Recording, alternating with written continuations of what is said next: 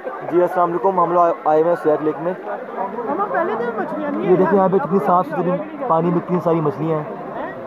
आपको मैं दिखाता हूँ पानी के अंदर जाके।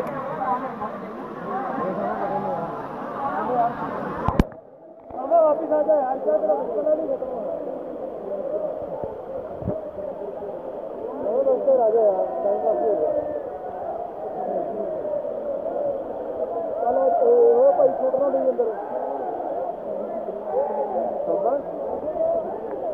जाने में जो पानी यहाँ